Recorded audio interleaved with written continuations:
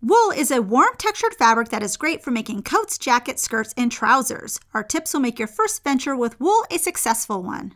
Problems that can arise with wool are its thickness can cause bulkiness, it can shrink, its texture may sometimes be unappealing against skin.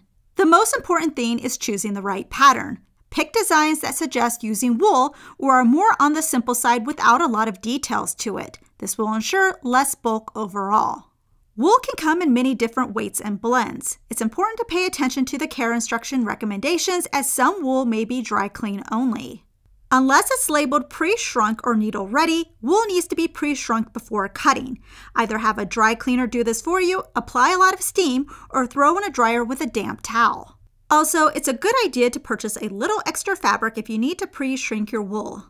When cutting your pieces, you want to consider the fabric's weight. If it's on the thicker side, consider cutting pieces on a single layer of fabric. Cut with sharp dressmaker shears or even better, use a rotary cutter for more accurate cutting. Wool can come as a woven or a knit, but it's recommended to use a ballpoint needle so it slides between fibers. Also use a higher needle size for heavier weight fabrics. For thread, you can use an all-purpose or silk thread. If using a thicker wool, consider using fabric clips instead of pins to hold pieces together. When it comes to sewing machine settings, practice on scraps. You may want to use a longer stitch length like a 3. You might also want to increase your thread tension and lower the presser foot pressure. If you can't lower the presser foot pressure, you can use a walking foot to ensure the fabric isn't being squeezed and is moving evenly. For thicker fabric seams, use a hump jumper or folded up fabric.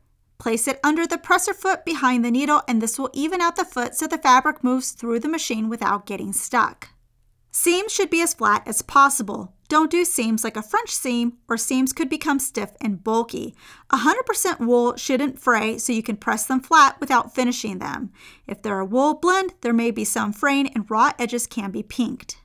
If you want unfinished edges covered, consider inserting a lightweight lining. This will also help if the wool has a little bit of a scratchy texture.